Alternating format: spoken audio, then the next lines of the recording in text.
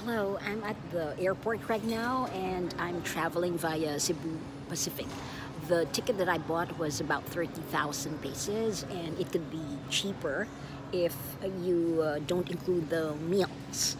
So, what do you need to go to Japan? Of course, your visa is important, but they only they only accept organized tours right now.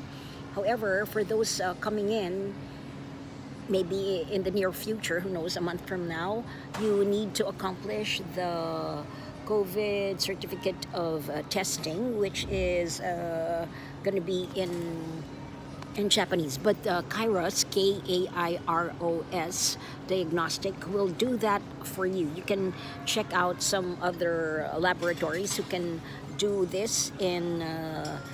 In the Japanese form.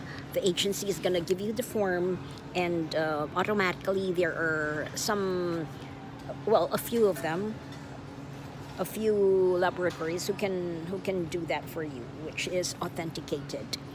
Also, you have to download the apps of My SOS. They will find out where you're staying, where you are. They're gonna call you. I'm not sure this time if they're gonna do that, but the last time I was in Japan, there was quarantine and it was all expenses paid. But this time, I believe there will not be any quarantine.